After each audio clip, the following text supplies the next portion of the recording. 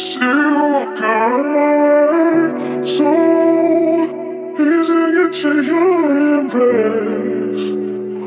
Tonight.